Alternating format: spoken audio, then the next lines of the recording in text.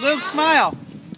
All right. Luke, Sam, Jack, Charlie, Maggie, where are you right now? At the farm. At the farm. Are you in the farmhouse right now? Yes! Yes!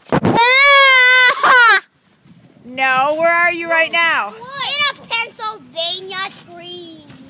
Whoa. In the teepee. Like a project for school.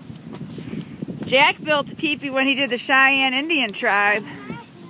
Guess what? Yeah. You get a picture of the whole thing? That's some stuff in there. Yeah, I got it.